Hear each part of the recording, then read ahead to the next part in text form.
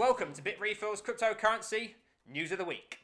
Now, first, in the US, not only did Grayscale launch five new digital asset trusts this week, but Morgan Stanley has also introduced Bitcoin investing for its wealthiest of clients. And moving over to Brazil, the first Latin American Bitcoin ETF has now been approved by the CVM, hopefully meaning good things are to come for Bitcoin adoption in the country. And in Pakistan, not only has the government now established their first ever cryptocurrency advisory committee, but as part of a new state policy, a province is trialling Bitcoin mining farms. And on to international news, Visa looks set to be joining PayPal, with their CEO stating this week that they plan on integrating Bitcoin payments in the future. And in case you missed it, head over to our Twitter where you can enter into a competition to win $100 of BitRefill balance. That's all from us. See you next week.